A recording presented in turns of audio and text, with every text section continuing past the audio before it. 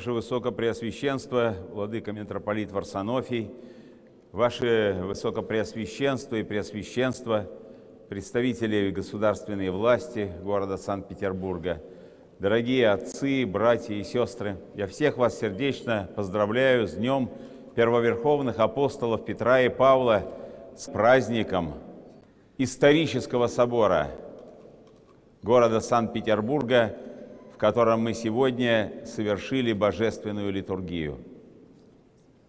Уже становится традицией, что патриарх каждый праздник святых Петра и Павла проводит в городе Санкт-Петербурге и совершает вместе с епископатом и клиром Санкт-Петербургской митрополии божественную литургию в присутствии многих и многих благочестивых людей – и всякий раз, когда задумываешься о жизненном пути святых апостолов, то возникает очень много вопросов. Вообще повествование об жизни апостолов, об их трудах, об их мученической кончине – это очень непонятное повествование.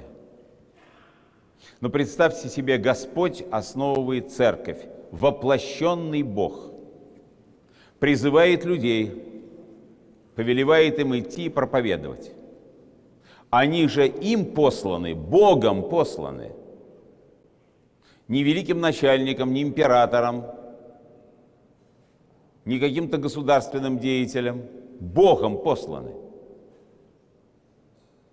Когда иногда кто-то из нас получает высокий государственный мандат, то позволяет себе делать очень многое, потому что считает, что он имеет законную власть власть, которую сообщила ему та или иная государственная инстанция. И про таких людей говорят, о, он высокий начальник. И у этого высокого начальника всегда глубокое убеждение в том, что все должно быть хорошо и правильно. Потому что есть этот мандат, и люди должны слушать его – а какой же был мандат у апостолов? Божественный. Так они должны были идти по миру с высоко поднятой головой. Какие там фарисеи, садукеи, какие там римские гонители. Все должно было перед ними расступаться, и всякая оппозиция, всякое сопротивление рассыпаться в прах и пепел – но ведь ничего этого не было. Они прожили страшную жизнь. Апостол Павел повествует во втором послании к Коринфянам, часть которого мы сегодня слышали за литургией, чего только он не пережил. Трижды тонул, был изгоняем из городов, получил 200 без одного ударов палками, будучи римским гражданином – имевшим божественный мандат. Его побивали камнями, на него нападали разбойники, его никто не защищал. Он получал проблемы и скорби даже от братьев, которых он называет лже-братьями – Вообще, как должен был бы вести себя апостол Павел с точки зрения логики современного человека? Никакого божественного мандата у меня нет, никакой силы, сопровождающей мою жуткую, страшную жизнь, нет. Потому что как же Бог может допустить столько страданий тому человеку, который его проповедует, который услышал его голос во время своего пути в Дамаск, и который с первого дня стал свидетелем ему даже до смерти, и ведь принял смерть в Риме, будучи усеченным мечом. Апостол Петр, мы меньше знаем о его жизни, но знаем, что это тоже были сплошные скорби. Ему приходилось переходить одного города в другой город – и в Риме, наконец, он был распят вниз головой при императоре Нероне только потому, что не хотел быть распят как спаситель. Вот с точки зрения как сейчас говорят, здравого смысла, вся их жизнь абсолютное несчастье. И что же это за жизнь? И где же Бог? Мы с вами задаем иногда эти вопросы, не находясь в таких обстоятельствах, как святые апостолы. Что-то просто не сложилось, что-то не получилось, какую-то проблему не решить. Болезни какие-то вдруг стали человека угнетать. Иногда закрадывается мысль, Богу молюсь и э, на церковь жертвую, и паломничаю. А в чем дело-то? А почему ничего не происходит? Вот каждый должен в тяжелый момент жизни, когда вдруг чувствует ослабление веры, вспомнить жизнь святых апостолов. Но у нас всегда остается на мирную кончину. Обстоятельства жизни совсем другие, и разбойники уж так не нападают, и палками никто не бьет, и камнями не побивают. И уж если по морю плаваем, то кораблекрушение – величайшая редкость. И не думает никто о том, что его жизнь закончится страданиями смертью. А ведь апостолы такую жизнь прожили. И вот возникает при чтении этой истории об апостольской жизни, об апостольских страданиях вопрос, а где Господь-то? А где Он? Как Он им помогал? И ответ удивительно простой. Он не спас их даже от насильственной смерти. Он не ограждал их от этих человеческих напастей от различного рода природных бедствий. Он как будто бы вообще не помогал им. А что в результате?